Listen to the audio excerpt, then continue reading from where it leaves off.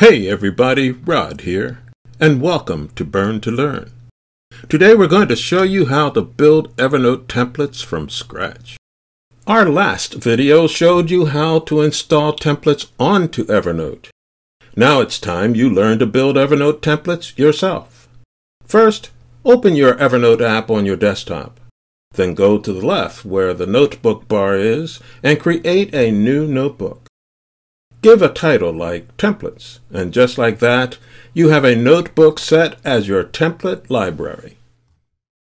Now you can start creating all the templates you want. You can create one for project plan, another for goal timelines, still more for meeting agendas or workflow or anything else. Any kind of note you use regularly can be turned into a template. All you have to do is go to the top where the New Note button is and click on New Note in the Templates notebook. Now add a name for the new note like Template Workflow. Start writing any text, format, or element you want in your template. Let's use text to write the project's name, team members, due date, and any other information you consider useful.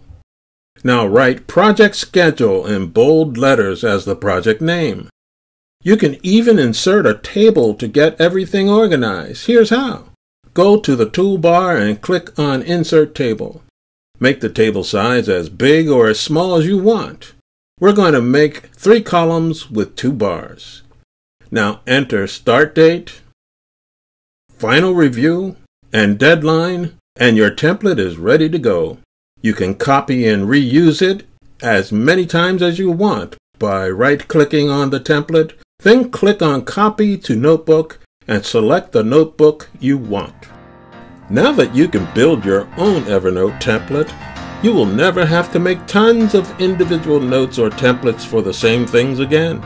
You can just copy one of your custom-made templates so you can use your time more effectively and more productively. Don't forget to like this video and subscribe to our channel and receive our next video on Evernote app. Thanks so much for watching.